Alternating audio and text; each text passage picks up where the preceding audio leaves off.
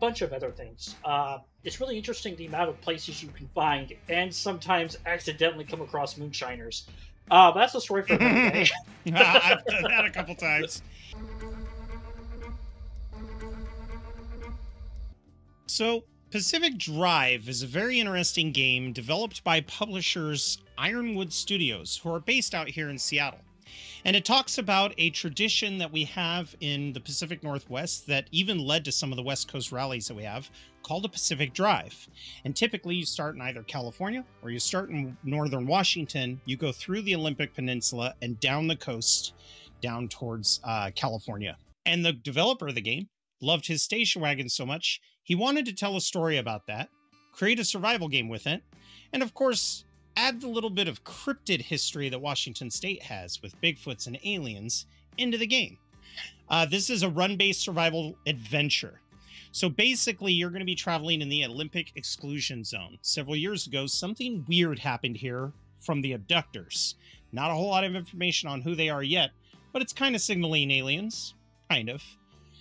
The entire Olympic Peninsula has been rated off limits from the government, but adventurous people still want to take their Pacific Drive, because that's part of the culture too, driving where you're not supposed to, and also gather technology for wealth and riches that have been left behind in that zone. So you take your car, you drive out there, you have to avoid all the storms while you're out there and gather up parts to either upgrade your car or hopefully make some money in the future. The interesting thing too is you do have a base of operations in an abandoned garage. On the outside of the garage, you can see signs that say, feel free to take whatever you want, never coming back. So there's a lot of that life of people who just dropped everything and evacuated. But here you are in your circumstances, you are stuck here, and you got to figure out your way out of the Olympic exclusion zone. But you can't just drive out. You have to go gather supplies. As you gather precious resources and investigate what's been left behind in the ruins, you are encountered with a hostile environment, hostile enemies, as well as the potential of upgrading your vehicle to make it last better. Now, the question we have for the community is what are your thoughts? Does this game seem like it will fit well with other solo survival games like Escape the Pacific or The Long Dark? And what do you look for in your solo survival experience? In the meantime, we'll go ahead and cover more of the game and see if that helps answer some of the questions you might have. So, the setting is here in the Pacific Northwest dump, which is kind of interesting because there are games that are made here in the Pacific Northwest, such as Last of Us 2, but it always seems like they kind of miss the mark on what it's actually like to live out here, whether it's just the the way that the nature looks or anything. When you think of a game that takes place in Pacific Northwest, what are some key components you're looking for? Um, I'm looking for a lot of, I would say, kind of forester hiking trail kind of modernization. And what I mean by that is that there, when you go through the woods almost anywhere in the Pacific Northwest, there are hiking, uh, there are hiking trails, there are tons of stuff because the people of the Northwest are constantly tread treading new hiking trails. You know, it's funny you bring that up because that's one of the reasons why I like the fact that they chose the Olympic Peninsula. A lot of people don't realize this, but in the Olympic Mountains, we have one of the largest rainforests in the United States. And it's such a weird rainforest, too. If you ever get to see it, we don't have mangrove trees, but the water is so prevalent there that the tall trees will grow roots 15 feet up in the air that sprawl out into the ground with swamp like moss hanging from it.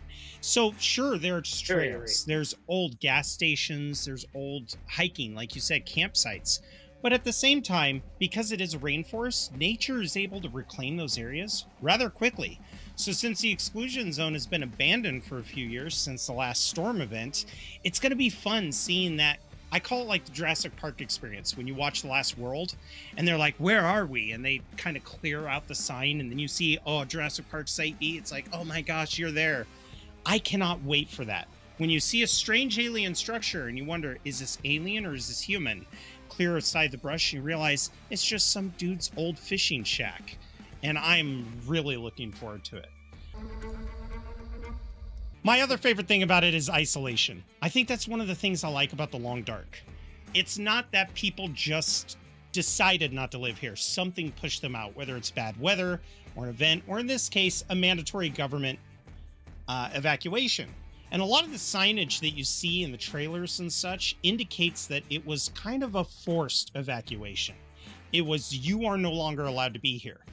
And when you look at a map of the Washington state, and you could Google this online, West Coast federal forests, it's crazy how much of the land is federal land.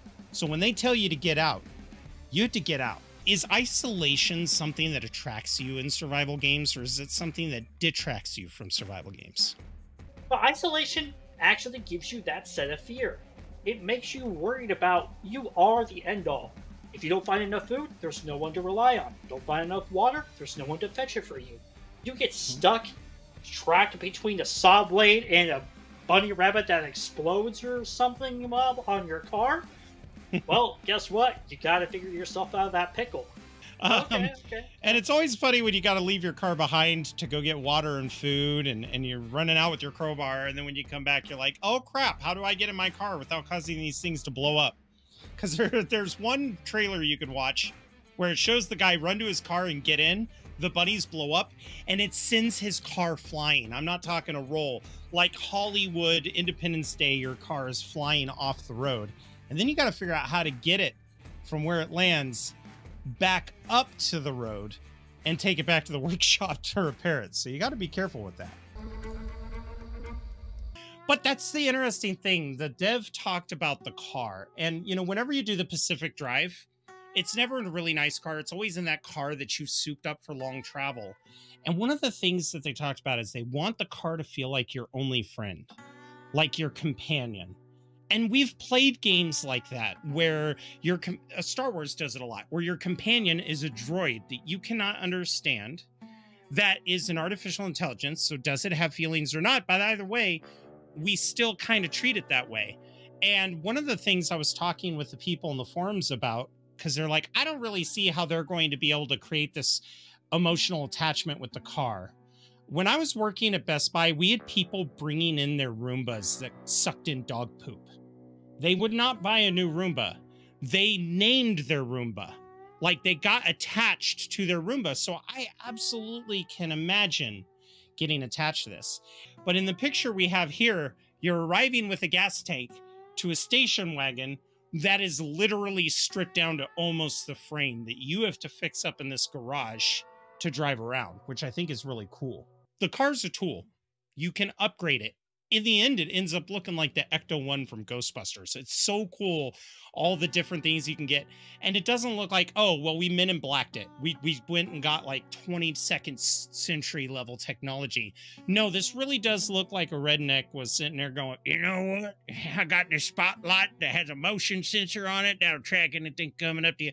It's such a good idea that they've had this real advanced technology, but homemade look. Yes, Dump. I know what's wrong with it. Ain't I got no gas in it? That's for you, puppy. Uh, That's for you.